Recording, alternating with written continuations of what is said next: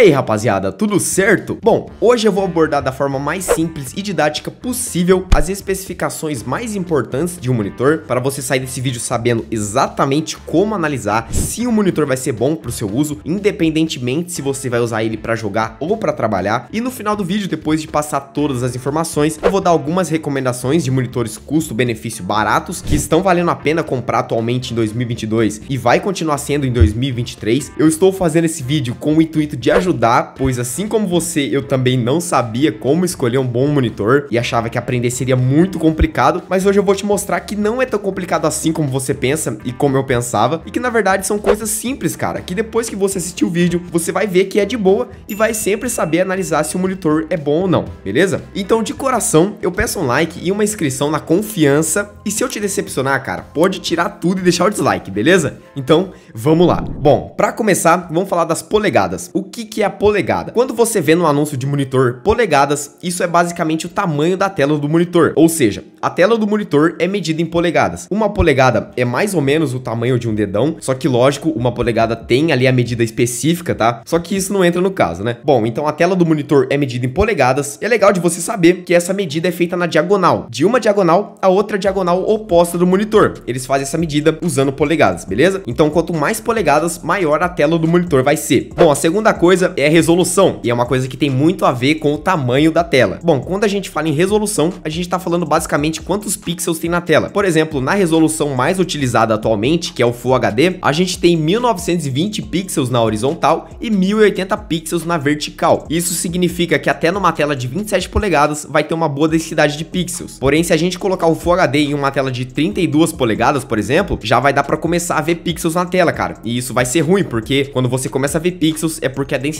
não está tão grande e aí a imagem não fica tão nítida. Então, assim, o que você precisa saber é que quanto maior a resolução, melhor a nitidez da imagem e mais caro o monitor fica, né? Obviamente. Aí a gente também tem a resolução Quad HD, que tem 2560 por 1440 pixels, ou seja, ela vai ter uma densidade maior ainda do que o Full HD e vai ter uma resolução melhor e, consequentemente, uma nitidez muito maior do que o Full HD. E outra resolução também muito conhecida é a 4K, que tem 3840 pixels por 2160 pixels. Então vai ser uma resolução que vai ter muita densidade de pixel e vai ter uma nitidez muito incrível, deixando a imagem muito bonita. Só que uma coisa que é muito bom ressaltar aqui é que quanto maior a resolução, mais ela demanda do seu computador, tá? Então se você for comprar um monitor de 4K ou Quad HD, certifique-se que a sua placa de vídeo seja muito boa para ela poder rodar os jogos, por exemplo, nessa resolução, porque demanda muito da placa de vídeo. Quanto maior a resolução, mais vai demandar da sua placa de vídeo e é uma das coisas que mais pesa também, tá? Bom, a terceira coisa que é boa a gente saber é a proporção. O que que significa isso? Bom, você tá vendo na tela a comparação de um monitor 16 por 9, 16 por 10 e 21 por 9, que são as proporções mais conhecidas atualmente no mercado. A proporção 16 por 9 e 16 por 10 são as proporções que a gente mais está acostumado nos monitores. É o monitor que a maioria das pessoas tem, que é um monitor que não tem a horizontal muito grande. Já agora na proporção 21 por 9, que são os ultra wide, esses monitores têm a horizontal muito grande, parece mesmo um retângulo bem esticado. Esses monitores ultra wide são recomendados e são mais utilizados por pessoas que editam vídeos e mexem com timelines em si, beleza? Bom, a quarta especificação que também é muito importante é a taxa de atualização do monitor. A taxa de atualização não é nada mais do que quantas vezes o seu monitor atualiza a cada segundo. Então, se você tem um monitor de 60 Hz, que é o mais padrão que a gente pode encontrar por aí, esse monitor de 60 Hz vai atualizar 60 vezes em um segundo. Isso significa que ele não vai ter uma fluidez igual de 75 Hz, porque o de 75 Hz atualiza 75 vezes em um segundo. Pode ser pouco, cara, 15 Hz a mais, só que já faz um pouco de diferença, tá? E agora falando de monitores de 144 Hz e 240 Hz, aí sim, esses monitores vão ter uma fluidez muito maior do que os monitores que tem 60 Hz ou 75 Hz. É válido ressaltar que para você aproveitar essa taxa de atualização alta, é preciso que você tenha um PC potente para poder entregar tantos FPS igual o Hz do monitor, porque se você tem um monitor de 144 Hz, você precisa que o jogo esteja rodando a 144 FPS no mínimo para poder aproveitar os 144 Hz do monitor, entendeu? Porque se você tiver um monitor de 144 Hz e tiver rodando o jogo a 90 FPS, você vai estar tá aproveitando apenas 90 Hz do monitor. Deu para entender? Então é simples, taxa de atualização deixa o jogo mais fluido. A quinta coisa que é bem importante e é uma pegadinha que todos caem é o tempo de resposta do monitor. Bom, esse tempo de resposta que você vê nos anúncios não é bem o que você pensa. Provavelmente você acha que esse tempo de resposta é quanto tempo em milissegundos o monitor demora para te mostrar o que aconteceu no seu PC, certo? Então, quanto menor esse tempo, mais rápido você vê o seu inimigo na tela. Se você acha isso, você está completamente errado. Cara, na verdade, esse tempo de resposta era para significar quanto tempo demora pro pixel mudar de cor de forma extrema e voltar à sua cor inicial. Tipo, mudar do preto pro branco e voltar pro preto. Esse seria o teste correto a se fazer, que se chama BTB, ou Black to Black. Porém, quase todas as marcas que produzem monitores usam o teste GTG ou Gray to Gray para falar do tempo de resposta. O teste GTG é quanto tempo demora para o pixel mudar do cinza para o branco e voltar para o cinza de novo. Esse teste deixa o tempo de resposta do monitor muito menor, afinal o cinza está muito mais perto do branco do que o preto. E se a marca fizesse o mesmo teste de tempo de resposta usando o BTB, o tempo de resposta seria muito maior. Ok, mas então qual a consequência de um tempo de resposta maior então? Bom,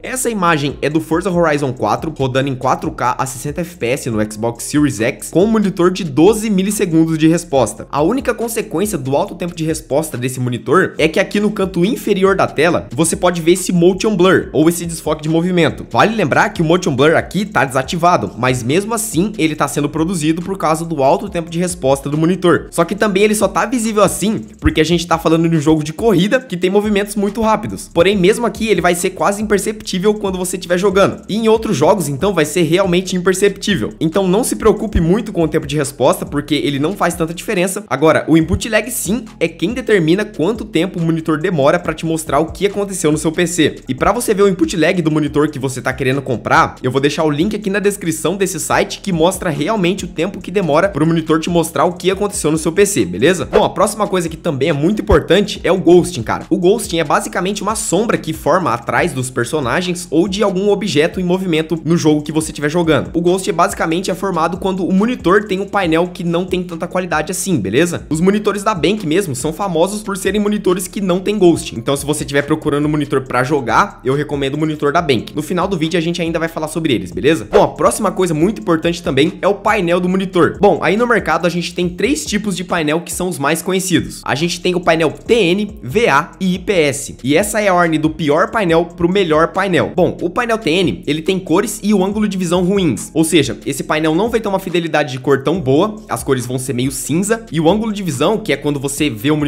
de lado ou de cima, vai ser ruim. Então quando você meio que virar a cabeça assim, for ver o monitor de lado ou de cima, você vai ver que as cores vão estar tá totalmente distorcidas. Esses são os pontos negativos do painel TN. Porém, os pontos positivos desse painel é que ele tem uma facilidade muito boa para poder chegar em altas taxas de atualização e também tem uma boa facilidade para chegar em um tempo de resposta menor e um input lag menor também. Já o painel VA, ele é um meio termo de cores ali e campo de visão, então ele já vai apresentar cores bem mais fiéis e bem melhores do que o painel TN e um campo de visão melhor também. Esse painel também tem uma certa facilidade para alcançar altas taxas de atualização, porém o ponto negativo desse painel é que ele tem um problema de ter uma certa facilidade em ter mais ghosting do que os outros painéis, beleza? Agora o painel IPS, ele é o painel que tem as melhores cores e o melhor ângulo de visão do mercado, porém é mais difícil desse painel chegar em altas taxas de atualização, mas isso não quer dizer que você não consegue um painel IPS com 240 Hz. Isso só significa que você vai pagar muito mais caro em um painel IPS com uma taxa de atualização alta do que um painel TN com uma taxa de atualização alta, entendeu? Um ponto que é bom ressaltar é que no painel IPS, às vezes você pode encontrar o Adobe RGB ou o sRGB. Então, quando você vê isso em algum anúncio, tenta sempre pegar um monitor que esteja com sRGB mais perto de 100%, beleza? Quanto mais perto de 100% o Adobe RGB ou sRGB tiver, significa que as cores do monitor estão mais próximas da realidade, beleza? É lógico que quanto mais perto de 100%, maior o preço do monitor, né? Bom, agora as últimas coisas aqui para encerrar as especificações do monitor, a gente tem o FreeSync e o G-Sync. O FreeSync, ele pode estar com o nome de Adaptive Sync também, tá? Só que é a mesma coisa. Bom, então o que que o FreeSync e o G-Sync faz? Tá vendo que nessa gameplay tem esses cortes na tela? Tá dando bastante cortes? Então, isso significa que o monitor não tá trabalhando sincronizado com a placa de vídeo. A placa de vídeo tá mandando muito mais quadro do que o monitor consegue produzir para você. Então acaba que ele joga um quadro por cima do outro. Aí fica dois frames, um em cima do outro no monitor. Isso faz esse corte na tela. Esses cortes na tela tem o nome de Screen Tearing. Para poder resolver o Screen Tearing, foi criado o FreeSync e o G-Sync. Os dois fazem basicamente a mesma coisa, só que a diferença é que o FreeSync ou Adaptive Sync, ele é mais barato de ser colocado no monitor,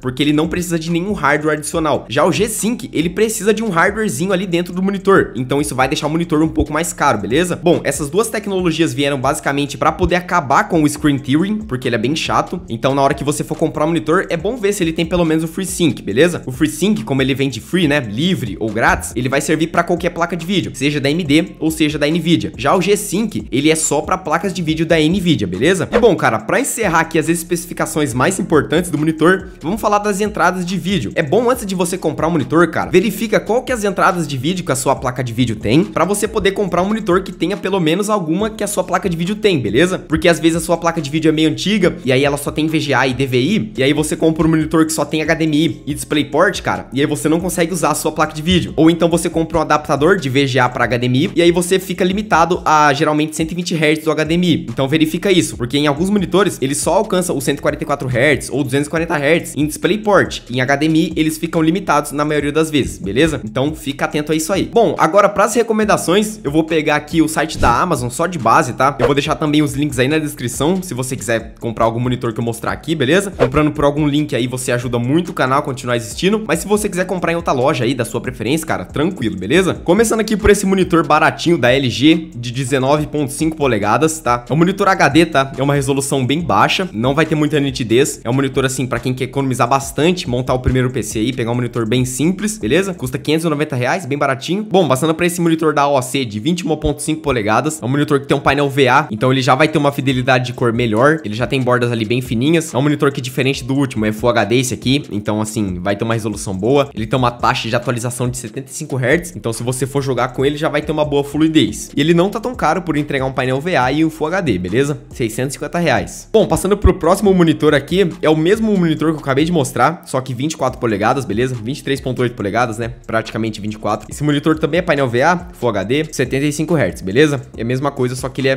quase 24 polegadas, um pouco maior. Bom, o próximo monitor é esse monitor aqui da Samsung de 24 polegadas Full HD, 75 Hz e painel IPS. Esse monitor é para você que procura um monitor com uma qualidade de imagem muito boa, tá? Por ser da Samsung, esse painel IPS vai ter uma qualidade melhor, tá? Então fica aí a dica para você que quer um monitor assim para jogar uns jogos com uma qualidade de imagem e fidelidade de cores bem boa, beleza? Outro monitor bem bacana é esse da OC Speed de 24 polegadas, 75 Hz e IPS também, beleza? É um monitor bem bonito também, vai ter um painel IPS, então as cores vão ser fiéis. É Full HD, então vai ter uma densidade boa de pixels. Ele também tem esse formato mais gamer aqui, né? Bem chamativo, beleza? Bom, essa outra versão aqui que é o AOC Sniper, ela é a mesma versão do Speed lá, só que é 27 polegadas, beleza? Ele também tem 75 Hz, IPS, Full HD, é a mesma coisa, só que ele tem os 27 polegadas. Então se você quiser um monitor assim maior, tá aí a recomendação AOC Sniper. Próximo monitor é esse monitor aqui de 23.8 polegadas da Dell. Ele tem 60 Hz de taxa de atualização, tem a resolução em Full HD, só que assim, o diferencial dele é que ele é um painel IPS com 99% de sRGB, beleza? Então assim, o IPS dele vai ser com cores realmente muito boas. E por ter uma imagem muito boa, ele não tá tão caro, tá? Tá 1049 aqui na Amazon, beleza? Bom, próximo monitor é esse monitor aqui da Mancer, é o Valac. Ele tem 23.6 polegadas, tem um painel VA, então assim, cuidado, pode ser que tenha um pouco mais de ghosting, beleza? Esse monitor é curvo, então ele vai ter uma curvatura aqui, né? Lógico. Ele tem 180 Hz de taxa de atualização, então assim, vai ser bem fluido para você jogar os jogos aí, jogos competitivos como no CSGO e Valorant. Vai ser bacana para você acertar bastante bala. Ele já tem a tecnologia FreeSync e G-Sync, beleza? É um monitor assim bem bacana e é barato, cara, 1.100 reais aqui em oferta atualmente. Bom, o próximo monitor é esse AOC Hero de 24 polegadas, ele é 144 Hz, painel IPS, Full HD também, é, ele tem o 144 Hz, então assim, vai ter uma fluidez muito boa. Painel IPS vai ter boa fidelidade de cores. Esse monitor também tem esse formato assim gamer, né? Bem chamativo. E o diferencial é que ele tem todos os ajustes de ângulo, rotação e altura, beleza? Próximo monitor esse aqui da Samsung, igual o Valac, ele é curvo, tá? É, esse aqui tem 24 polegadas, é Full HD também, tem o 144 Hz para poder ter uma boa fluidez, é Full HD também, então vai ter uma boa densidade de pixels. E o painel desse monitor é VA, tá? Então pode ser que ele tenha um pouquinho mais de ghosting. Só que como é um painel da Samsung, cara, eu acho bem difícil, beleza? Provavelmente vai ser um painel VA de muito boa qualidade. O próximo monitor é outro monitor da Samsung, é esse aqui, o Odyssey de 24 polegadas também, Full HD, 165 Hz com painel VA também, beleza? Esse monitor também tem FreeSync, igual quase todos os outros monitores que eu já mostrei. Eu até esqueci de falar nos outros porque, cara, quase todo monitor tem pelo menos o FreeSync, tá? Então fica tranquilo. Esse monitor é um pouquinho mais caro porque ele tem os 165 Hz de taxa de atualização e ele tem todos os ajustes de ângulo, de altura e de rotação, beleza? E também tem esse design mais futurista, né? Bom, o próximo monitor é esse AOC Hero de 27 polegadas, monitor bem grandão, 144 Hz, IPS, é Full HD também. É um monitor, cara, vai ser bem grande por ser 27 polegadas, tem o 144 Hz, é um monitor assim bem bacana para jogar, para fazer tudo aí. Infelizmente, esse monitor só tem o G-Sync, tá? Então placas de vídeo da AMD não vão ser compatíveis. Com o G-Sync, é claro, com o monitor vai ser compatível tranquilo, beleza? Bom, o próximo monitor é o LG Ultra Gear de 27 polegadas, também tem o painel IPS Full HD, tem também o 144 Hz, então um monitor bem grandão grandão, de 144 Hz, bem bacana aí pra jogar, fazer tudo que você tem que fazer. Bacana que esse monitor tem um sRGB de 99%, tá? Por isso que ele é um pouquinho mais caro e um HDR10, beleza? O próximo monitor é esse da Pichal, o Centauri. Ele também tem 27 polegadas, tá? Só que a diferença, cara, é que esse monitor, ele é Quad HD, então ele vai ter uma densidade de pixels muito maior e, consequentemente, uma nitidez muito maior também. Ele tem 165 Hz de taxa de atualização, tem FreeSync. Cara, é um monitor excelente, muito bom mesmo, porque além de ser Quad HD, ele é o painel IPS, então ele vai ter cores bem fiéis e 165 Hz para ter uma boa fluidez também. Bom, o próximo monitor é o AOC Legend de 27 polegadas, 240 Hz. Esse monitor é para quem vai jogar aí competitivamente, cara, monitor bem bacana. 240 Hz é muito fluido, ele tem uma tela curva aqui para ajudar na sua imersão e tem o FreeSync também. O único ponto negativo, entre aspas, é que o painel dele é VA, só que assim, o painel VA também tem cores muito fiéis, só tem o probleminha do ghosting. Pode ser que tenha mais ghost, pode ser que não, beleza? Mas não deixa de ser um monitor barato pelo que ele entrega. Bom, o próximo monitor, dessa vez é o LG Ultra Gear de 240 Hz. Ele também é IPS Full HD, tá? Esse aqui já tem uma tela IPS com uma resolução Full HD, então assim vai ser um painel que tem umas cores melhores do que o VA. E é um monitor que por 1.970 reais entregar painel IPS, resolução Full HD, 240 Hz de taxa de atualização e uma tela de 27 polegadas, tá compensando. Agora falando aqui de monitores ultra wide para você que precisa para editar vídeos ou mexer com timeline, eu recomendo aqui algumas opções como esse da LG. Isso aqui é resolução Full HD com a proporção 21 por 9, igual eu falei lá, lembra das proporções? Então ele vai ser um retângulo assim bem comprido mesmo, cara. Vai ser muito bom para você que edita. Bacana que esse monitor já tem um painel IPS com 99% de sRGB, então assim ele vai entregar uma fidelidade de cores bem boa mesmo. Outro monitor ultra wide aqui também bem bacana da LG é esse aqui de 29 polegadas Full HD com um painel IPS, é um monitor que tem uma tecnologia de Motion Blur Reduction. Ele já tem a tecnologia FreeSync, cara, que é bem bacana, e é um monitor aí que vai ser bacana também para você jogar e editar, beleza? Cara, agora um monitor bem bacana para você que quer desfrutar de uma nitidez e de uma imagem muito boa.